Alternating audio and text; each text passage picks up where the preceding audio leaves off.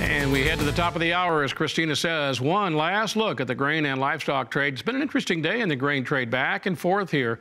Uh, the trade that doesn't want to seem to put a lot of uh, weather premium in corn here right now, but we've been on both sides, mostly higher through the day. I want to get to the futures in a minute, but uh, also uh, every Wednesday is our ethanol report day, weekly ethanol production from the previous week. Let's go to the board and uh, check out what ethanol showed us. Again, second week in a row below a million barrels per day. This uh, last uh, look here at 993,000 barrels per day. That was up from last week, though. Last week, first week in a long time, we were below a million barrels. That was 986,000. Still keeps our four-week average over a million barrels per day, 1.01 million barrels. And ethanol stocks at 23 million barrels. Again, a lot of eyes on that number. The uh, previous record was set just during the month of March uh, at 23.7. During one week in March, we were 23.7. We were uh, again climbing back toward that number, 23 uh, million right now this week. Again, as far as ethanol stocks are concerned. To the board, then we go.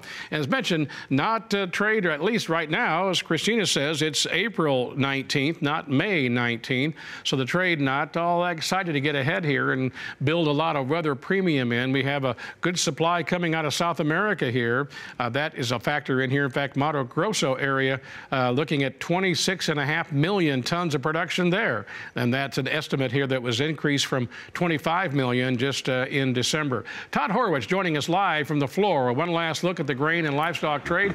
Todd, uh, got to go through the valley before you come back up and see the sunshine. And I say that because longer term, you are friendly to this grain market.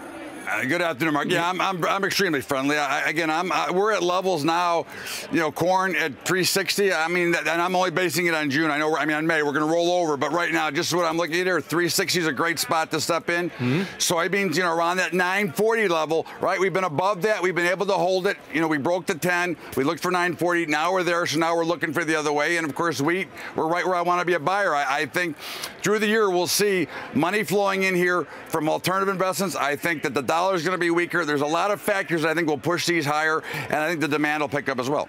Yeah, we're all looking at all that here as you speak, and the dollar is a little bit higher today, but still just below the $100 level. You look for that to longer term, the dollar, as long as we're on that, uh, down there in the mid 90 range. Oh, yeah, I, I would expect 94 is my minimum target to the way down and, and possibly lower than that. So, yeah, I would expect to see the dollar lower, and I would expect to see, again, the, the equities lower, which brings more money into the alternative investment space as well, which in this case would be the grain markets. And of course, that would push prices for us as well, which would always be a good thing. What would be the cause for the dollar to weaken that much here, Todd?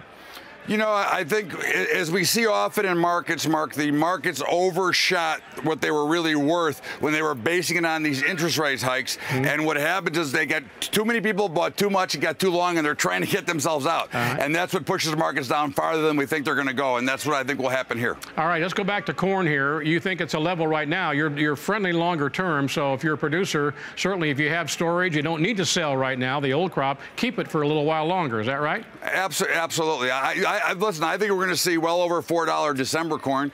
I think if you can hold, again, if you're not paying for it, then you can yeah. hold it. If, you, if, it's going to cost you, then you have to evaluate yeah. the cost versus what you're going to get. But I think you're going to get a much better price. I mean, I, I would expect to see 380 in, in, pretty quick time here in the next in the next setup. That's so, again, I mean, talking about the May contract. All right, uh, Todd Horwitz live from Chicago. We'll take a break. One last look at the livestock trade and his thoughts there as well. We continue after this.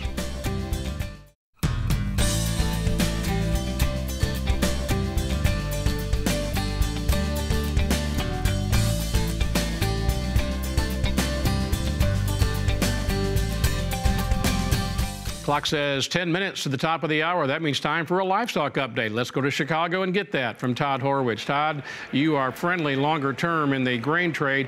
What about we've been higher uh, nine days? Looks like it might be 10 days in a row for live cattle. Uh, you still friendly here? We've got more room to go? I'm, you know, they may go higher. They're going without me. I'm, I'm not. I'm friendly long term here. In the short term, I think that they're well overvalued. Right? I think there's a lot of things that are kind of confusing here, and uh, overall, I think there's a squeeze going on. And of course, with April coming off the board and with cattle on feed on Friday, I think that's going to change a lot of these dynamics. And I think they're they're well overpricing what the real value is here. Because if you look out into the future, we're in that backwardation formation, and that's never very bullish longer term. Yeah, you got uh, June at 115. As we know, that's been well below the nearby contract. August even below that at 112. I'm going to get you, I'll get the numbers here for those tuning in on uh, RFD TV and Rural Radio. But I want to get your thoughts here uh, before we take a break with you and the hog trade. Uh, on the other side, hogs are lowest since mid-October and still lower today.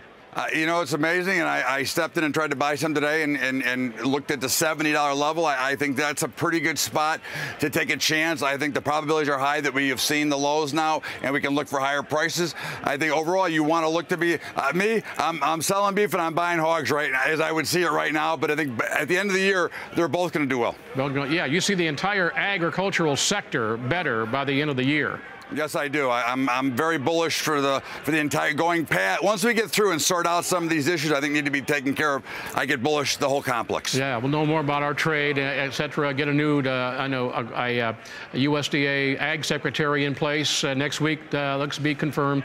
That'll also be a factor. Todd, we're going to have you back tonight and wrap things up on our Rural Evening News. Thanks, Mark. Thank you. Always good to visit. It's Todd Horwitz. BubbaTrading.com is the website. All right, here are the numbers. One last time. These are live from Chicago, right? Uh, Todd turns around. He'll be seeing the same numbers I'm giving to you right now. April live cattle up $1.20, closing in on the 128 level, 127.98. They may all be over a 128 by the close here. Still have another 20 minutes or so to trade. The June more active and it's higher. It wasn't higher all day. Went down to 114.85, almost a dollar above that. In fact, more than a dollar above that.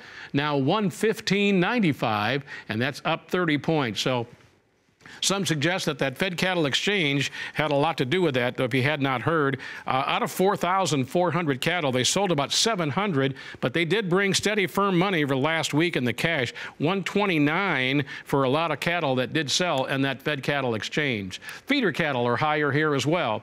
The May feeders are, and they weren't higher all day either. May, for example, down to a low, 138.48, and now they are uh, nearly uh, $2 above that at 140. 30, 140, 30 on the May feeders, and that is up 22 points. August up 77 points, just short of 143. Check that beef cutout we got at midday. It was a mixed trade there at midday with the uh, choice a bit lower, 91 cents, select a bit higher, still about the highest since late March. And then our hog futures, uh, again, lowest since mid October and lower again on the day. Todd Horwitz says he thinks 70 is a place to step in here technically to own these June hogs. They're down $1.40 at 70.10 right now, 70.10. And a quick look at our pork cutout. Arrow still lower there uh, at midday. And we'll see where we close on the day, but the carcass down 36 cents, Jano. Keep an eye on that. Pretty wide range taking place It today. was an interesting day here. All right. Thank you very much.